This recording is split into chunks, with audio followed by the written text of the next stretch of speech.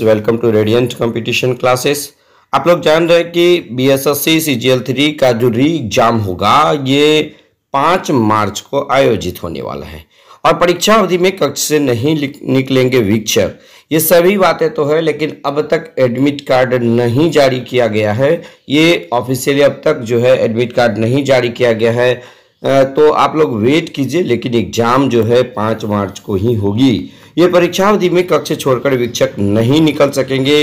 कर्मचारी चयन आयोग के पुनर्परीक्षा को लेकर यह निर्देश दिया गया है। ज़िले में 25 केंद्रों पर 5 मार्च को यह परीक्षा होगी। निजी स्कूल में बने केंद्र पर बीईओ या सरकारी स्कूल के हेडमास्टर ही केंद्राधीक्षक होंगे। इसके साथ ही हर परीक्षा हॉल में अन्य वीक्षकों के साथ कम से कम एक महिला वीक्षक की प्रतिनियुक्ति को अनिवार्य किया गया है। आयोग ने निर्देश दिया है कि परीक्षा केंद्र पर किसी के पास भी स्मार्टफ़ोन नहीं होगा। केंद्राधीक्षक केवल बटन वाले फ़ोन का उपयोग कर सकेंगे। परीक्षा के एक दिन पहले चार मार्च तक इन इन केंद्रों पर जयमैर लगा देना है और उस दिन शाम चार बजे तक इसे क्रियाशील कर देना है। ग्यारह बजे के बाद नहीं मिलेगा प्रवेश, यानी कि ये देखिए मुजफ्फरपुर का न्यूज़ है। तो डीईओ अजय कुमार ने कहा है कि डीएम और आयोग के निर्देश का सभी केंद्र अधीक्षक सख्ती से पालन करेंगे। किसी भी अभ्यर्थी को 11 बजे के बाद प्रवेश नहीं दिया जाएगा।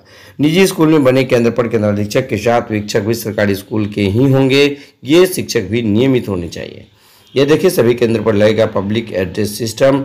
तो इस प्रकार जो है सभी बातें चल रही है, लेकिन आयोग के साइट पर अब तक एडमिट कार्ड नहीं दिया जाना ये थोड़ा सा संशय वाली बात है, लेकिन आप मान करके चलेंगे ही कि एक से दो दिन में एडमिट कार्ड जारी कर दिया जाएगा और पाँच मार्च को आपको एग्ज़ाम में शामिल होना है।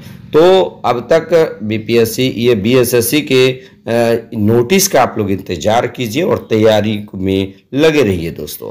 तो चलिए बेस्ट ऑफ़ लक आप लोग बेहतर ढंग से तैयारी कीजिए और एग्ज़ाम दीजिए। धन्यवाद।